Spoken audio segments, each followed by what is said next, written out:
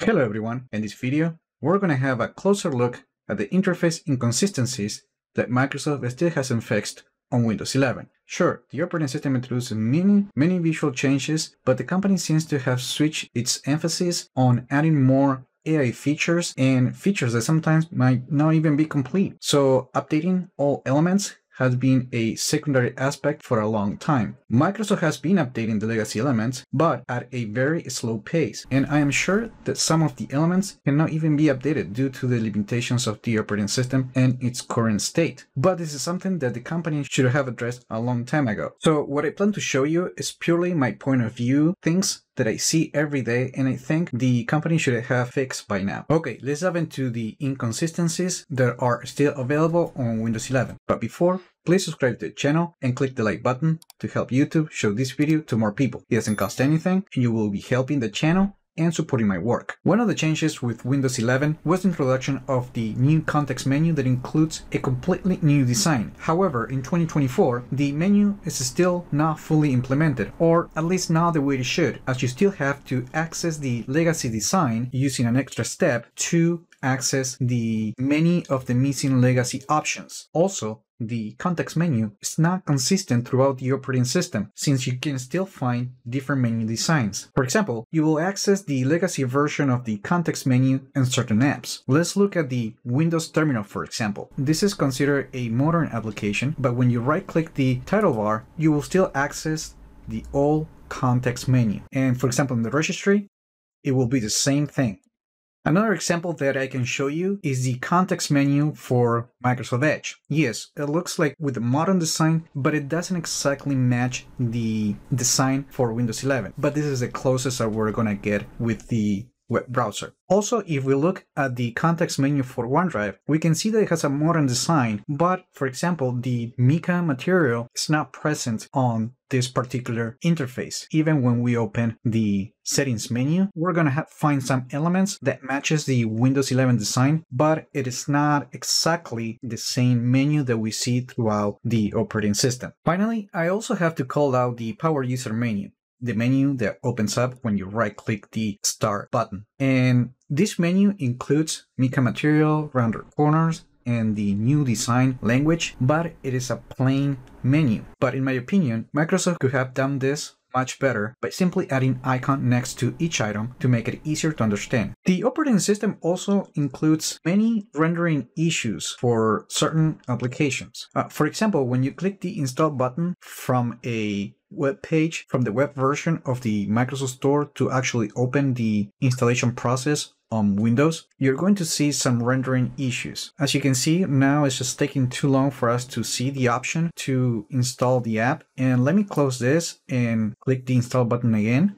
And you will see now that we have a different experience that jumps all over the place. And you can see that in the background, it's opening the Microsoft Store the full version, and then we only get the small version of the interface to install the application. Now let me show you another example. When you open the Windows Terminal, for example, and you close the application, you're going to see an after effect that stays in the screen for a moment, which I don't think is a big deal, but it still shows some rendering inconsistencies. And that's it. You saw that? So now let me open that again, and you're going to see the after effect. Did you ever notice command prompt flashing windows appearing when you're signing into your account. These are also rendering issues. Ideally, startup scripts and different commands should run hidden. However, this is not just the operating system's fault. Some applications might inject some script that must run startup, but the system should be able to hide them if they're not important for the user because they should stay for a millisecond and then they go away. We can also find some UI inconsistencies when switching from the light to the dark color mode. So let me show you that if I open the settings app and then go to personalization and then I just switch to the dark theme and if you have open File Explorer, you're going to see some inconsistencies in the interface. So you actually need to restart the application in order to fix this. Since I have switched to the dark mode, let's talk about this color mode. Although I usually set the color mode to light, many users prefer the dark mode. Unfortunately, even after many updates, Windows 11 still doesn't have a proper color mode that expands across entire experience, as many of the elements on File Explorer and across the operating system doesn't have a proper dark mode. So let's say that we want to open the properties from a specific folder or a file we're going to see the legacy experience for the properties of that element that doesn't align with the design language of Windows 11. Even if we open other legacy applications, let's say Control Panel, for example, even the Start menu. Right now as I'm recording this video I didn't know this was a thing. You can see that the dark mode didn't apply correctly so if we open control panel, we do get some dark mode, but it's not fully implemented. If we go to the registry, we're not going to see anything remotely to a dark mode. Computer management, also no dark mode. And we can go through many of the legacy applications. They do not have the proper dark mode design. Even if we go to the Windows tools, not only the dark mode is not properly implemented, but also we can see that we're accessing the legacy version of File Explorer to access these icons. Even further, Windows 11 doesn't even have an option to switch between the light and the dark mode automatically throughout the day. Apple's macOS has this feature and it works great. The control panel has been around for many many years and is still present in the current version of the operating system. Microsoft has proactively been trying to port many of the features to the Settings app. However, it has been trying since the original release of Windows 10 back in 2015. The problem with inconsistency here is that you still have two applications to change the system settings. And when configuring some features from the settings app, you still have to access the legacy experience to configure that particular feature, adding unnecessary confusion to the end user. Let's say that we are in the settings app and then we need to change some settings and we click this button, we're going to get to the page to configure more options, but that is the control panel legacy design. Don't get me wrong, it is still good that we have quick access to the settings in control panel, but all these properties should already be built into the settings app. Although the settings app has been designed to be the primary experience to configure features and changing the appearance of Windows 11, it is also another case of inconsistency since many of the pages still retain the design style of Windows 10. For example, if we go to the privacy and security settings, if we go to the search permissions page, we're going to see that the page still retains the design style that we used to see for the settings app for Windows 10. Now, Microsoft also been updating the settings app and on future releases of the operating system, we're going to see more pages getting updated, which is a good thing but right now it is another aspect of inconsistency. On Windows 11, some system applications and components still do not align with the design language, or you will find many inconsistencies. For example, on Microsoft Edge, the menu has been updated too much closely with the design of Windows 11, but the browser itself, like the frame, do not include blur or transparency effects. So by now, the browser should at least have a frame that matches more closely with the design of Windows 11, as we can see in Notepad and on File Explorer. Although the operating system includes a modern version of File Explorer, a modern version of File Explorer, the app still has many inconsistencies. For instance, it still relies on legacy elements to change settings. We can see this we open the folder options. As you can see, we're still using the legacy interface to change settings. Also, if we have to access tools from File Explorer, let's say that we want to use the format interface, we're going to see that we're still using the legacy version of the format that hasn't been updated for a very, very long time. In addition, since not all the options are available through the modern context menu, you still have to go through an extra step to access the legacy context menu to find other options. Even more, Windows 11 still includes many legacy applications. I can understand the need for some apps to maintain compatibility. However, by now, we should have tools that can manage modern and legacy features. Microsoft is already deprecating tools like WordPad and Step Recorder and integrating many features from the legacy tools into the settings app, such as the ability to manage drives and partitions. However, many of the tools still remain untouched. Some examples include the Event Viewer, Registry, Performance Monitor, Resource Monitor, System Information, and Task Scheduler. Furthermore, some legacy applications may even include elements from even older version of the operating system back to Vista and even older version. For example, if I go to the computer management console and want to create a volume on this drive, you're going to see that we have this right here. This is an element from the Windows Vista era. However, in this specific case, we know that if we go to the settings app and then we go to the storage settings, we can access the updated version of the disk management tools, which in the settings app, it's just called disks and volumes.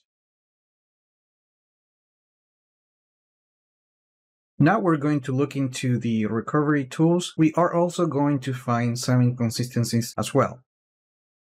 For instance, inside of the Windows Recovery environment, we can still see that the interface is still stuck on the Windows 10 design style with the blue background and white fonts. I'm not expecting a complex interface makeover since it will require more resources and components that are not necessary in this environment. However, the interface should be similar to the out-of-box experience visuals without fancy animations when, when we jump between the different pages as you can see right here not that, but I'm talking about more about the frame and elements like buttons, fonts, and more. I know I just said that I would like to see this design on the recovery environment. However, on the out-of-box experience, we can also find a few things that they need to be improved as well. For example, the scroll bar is still stuck on the old design. Also, when we go through the different pages, we're going to find some inconsistencies and little things that can be improved with a little bit of design. For example, the add layout option is a simple link. With a little styling, this option can look a little bit better.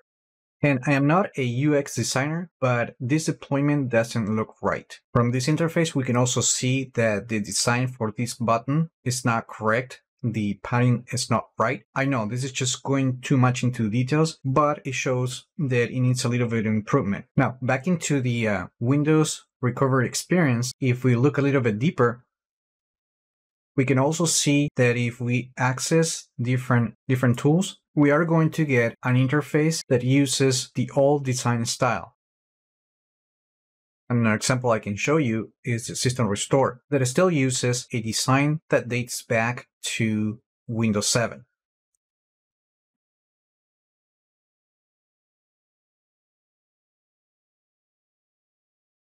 Even the image recovery tool it is important to take a step back and recognize also that Microsoft might never update all the tools, and some of the tools might even disappear in the future. Like, for example, the uh, Windows Backup System, the legacy version that is still available on Windows 11, but that is a deprecated feature. However, there are some tools like command prompt that it will be nice if Microsoft switched the interface to the Windows terminal because that's supposed to be the replacement for the command consoles. I am not going to get too deep into safe mode because this is an environment that loses just the necessary services and applications so you can troubleshoot your system, but you're also going to find some inconsistencies. For example, if you need to troubleshoot some issues with the operating system and you want to use the settings app, you can use it, but to a certain point. For example, if you go to Windows Update, you will not be able to check for updates, for example. Also, Microsoft wants you to use the Windows terminal as a replacement for command prompt, but if you want to use that on safe mode, that is not possible.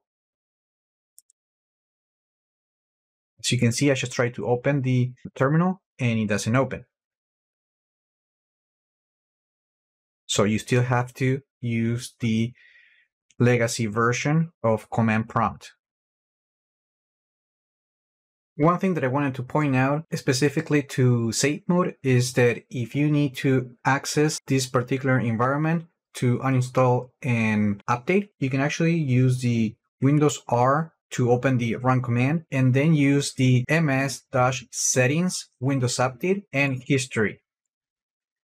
This should open the update history page and from here you can access the settings to uninstall updates. I think safe mode should include the entry to access the page to uninstall updates more easily. So in conclusion, Windows 11 is a modern operating system with a modern interface, and it introduces many new features that sets the operating system apart from older versions. However, there are still many functionalities and design inconsistency throughout the system. Windows still mixes the old with the new elements. The dark mode does not apply everywhere and menus do not align across the experiences. You will find rendering issues here and there and there is still a lot of confusion with the settings app since the control panel and many other legacy components still exist. Microsoft has been addressing many inconsistency problems but not at a rapid pace and considering that version 24H2 could be the last major update, it is clear that not every issue will be fixed in this version. I wish the company will use a different approach. Instead of continuously pushing features in AI integration, I think Microsoft should dedicate some feature update specifically to only include interface changes and fully align the experience with the Windows 11 design language. And that is all that I have to say about the Windows UI inconsistency at this moment. Remember to like the video, leave your comments, subscribe to the channel if you haven't done that yet, and I just hope this video was informative for you, and I would like to thank you for viewing.